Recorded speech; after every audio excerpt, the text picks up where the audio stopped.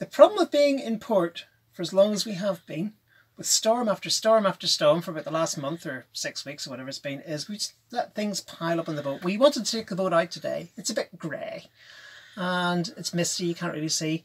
So we thought, well, we want to take the boat out. And then we looked at the state of the boat and we thought, oh my lord. So now we're tidying the boat up. And as we're tidying the boat up, we're finding all the things we bought to replenish our spares. And we haven't done a thing with them. We've just bunged them to the side and, and not done a thing. Part of that's because Gaynor has been working, doing little jobs. Part of it is because I've been running around doing things for family and things like that because of the pandemic. But we just haven't had the time. So what we've decided to do instead is we're going to tidy the boat up and get her into seaworthy condition and then we're going to move her and put some diesel in. Uh, but while we're at it, we're also going through all our spares lists and we're just going to look at all the stuff we've got while we're putting it away and remind ourselves what we actually have to do because we've more or less forgotten. But first things first, we can't move the boat because if we do, the boat's a disaster zone. We can't move down here. We've just been too lazy tidying up and we need to sort it out. The dinghy's a disaster zone. You want to see the dinghy? We haven't inflated the dinghy in two months. It is well down. So one of the jobs we have to do is inflate the dinghy so it doesn't fall off the boat because it is so underinflated at the minute it could just fall out of the harness. We've just been too lazy and we need our butts kicked so it's time to get things sorted out and that's today's task. Fair old sausage. Oh, it's completely a mess because it's so bad.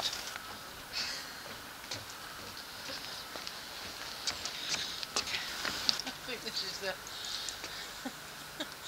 most deflated she's ever been for ages. Poor thing. Well, there's salty sausage getting blown up. An absolute essential task every now and then. So, Bevy, tell me about one of the spares that we keep on board. Um, we've got these things. Um, I'll just take one out. No, I'll take them all out. Right. what they are is LEDs. And we get them in packs of six from made in China. And um,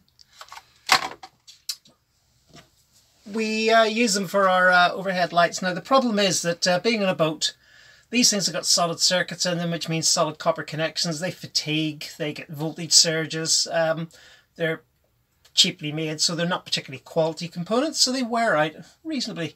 We've had this one up here about two years and it's finally started to blink. About three or four of these LEDs no longer light, but the problem is that before they stop lighting, they flicker like mad and drive you crazy. So that one's going, and a new one is going in to uh, replace it. Snap them off, they're just like tablets. The only issue you really have is that these the leads are a little bit too long and just require a little bit of clipping back with a pair of nippers. Not very, just by a couple of mils, that's all they need. So it's going to be like that. So the only job now is to put it back in, which is the tricky bit. you little light, it goes up there. So these, quite literally, just slot into the little holes just there. Give it a little push and we should be good. Yay! So now what I've got to do is put back the glass protector and the little plastic ring which has a, a little break in it and uh, so that goes up there and that goes up there and it only fits in one way around so you can't get it wrong. Job done. Well, Bevy and I are uh, doing a boat tidy and um, I found a really essential tool that you need is a knife. This is one of our knives that we have in our sailing jackets. Um, you know, it's so useful to have something that you can cut ropes um, and just do a variety of bits and bobs and we have used this in so many different ways. So having a knife that is in your jacket or easy to access is just an absolute must. Yeah, because we've got another large knife, haven't we? Yeah, I'm going to be um, redesigning uh, round here and I've also got a knife which I just hang um, at the moment, so I want to do something a bit better with that. That's just a straight blade, that one, isn't it? That's just a straight blade, but I have it hanging. And um, even though Beverly's put gold, cold galvanic spray on it, it's starting to rust. So um, she needs to sharpen it again. But we have at least something that just hangs there. So we always know where to find a knife. Um, and then we have these which we put in our um, sailing jackets. But the problem is um, when we're going from, say, the sailing jackets to the mullions or other things, or we're going out shopping and we're using those sailing jackets, we always take the knives out when we're going out, just just to be on the safe side. Last thing we need is PC Plod feeling our collars for having a knife in our pocket. Exactly. So we always take them out. So that's why uh, I had this one on the chart table, and now I've got to find the jacket that it goes in.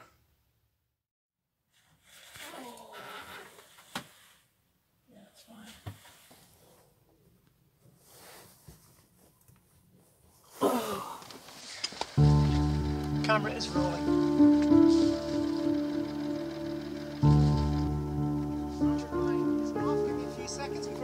Before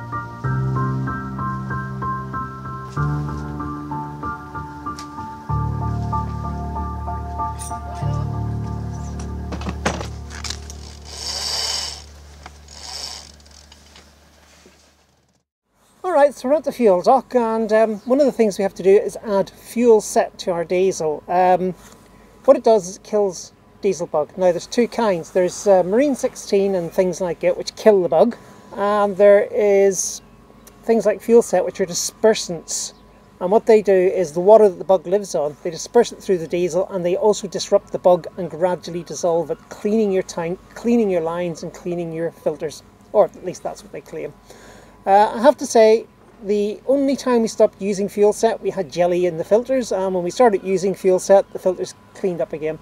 And the last time we cleaned our, we changed our filters over, they were so clean on the inside, we seriously considered putting them back.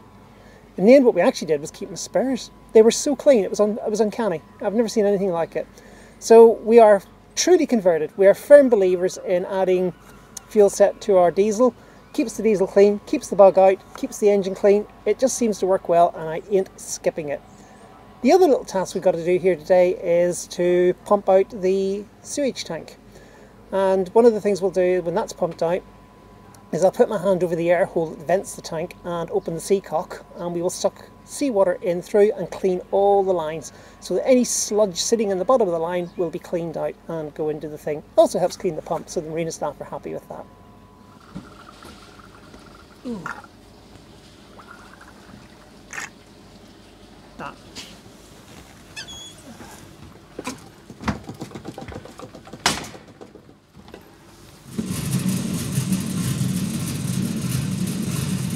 Oh yeah, the fun of boat life. Absolutely. Don't know if that's in focus because I haven't got my glasses on. we can always hope. All right, ignoring the roar of the kettle in the background to make a cup of tea. Yeah, one of the things that's really useful to have on a boat is a tape box. Now, we have got in here all sorts of tapes. We have got retro tape. Oh, keep that out. Keep the retro tape out. Oh, look at that. Yeah. so All retro. Okay, Retro tape, tape off.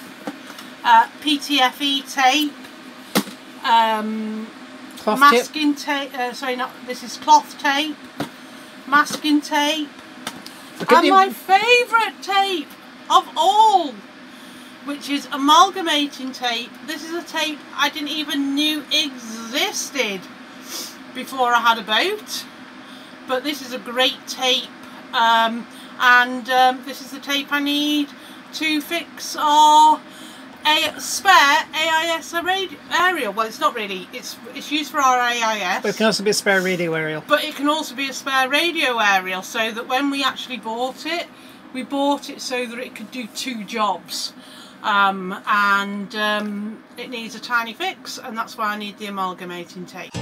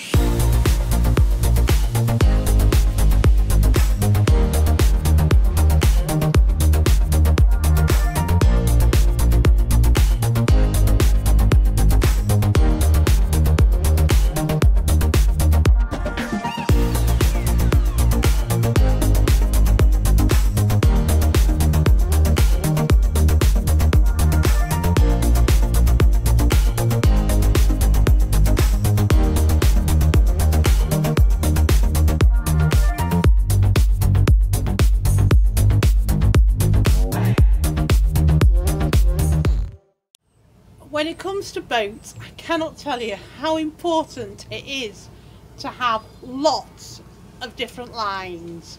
Bevy and I have um, uh, these uh, throwing lines, uh, which are great for throwing um, and um, getting the boat in. We have mooring lines. On top of that, we have what we call our dog ropes, which are used for any kind of job that we need to lash up stuff. But having plenty of lines is absolutely essential. It's amazing what you can do with them. does make life a lot easier. It does. Um, as I say, we've got these mooring lines. I have a, a line which I only use for docking. You know, it just makes my life easier and simpler. And what's wrong with that? Um, if you're ever going to have uh, guests aboard, then having spare life jackets is really important. Even if you just have a dinghy vest, you know, you've got something uh, for people um, to move about the boat with and uh, you can go out in. But um, we have used our dinghy vest on one occasion when one of our life jackets went off. so, uh, but as I say, we've got our old life jackets are now our spares. And just like anything else, we maintain them on a regular basis. And the biggest thing that we find is the gas canister. We need to make sure that that is screwed in. Um, and we check that Apparently, loose gas canisters are the biggest cause of life jackets failing.